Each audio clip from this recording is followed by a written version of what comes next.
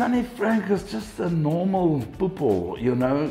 He's sort of a reprobate. He's got no siblings. He's got nothing going for him in life. He's the underdog.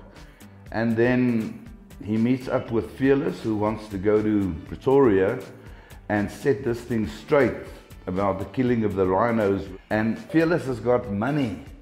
Sonny has got zilch. So Sonny goes on this journey not to save the rhino because he doesn't really care about the rhinos. He goes because Fearless can help him get there and he knows when he's going to get to Pretoria, he's going to dump Fearless and take some of his bucks. So he's actually a liar. He, um, he tells stories that are just totally over the top, but he gets Fearless intrigued.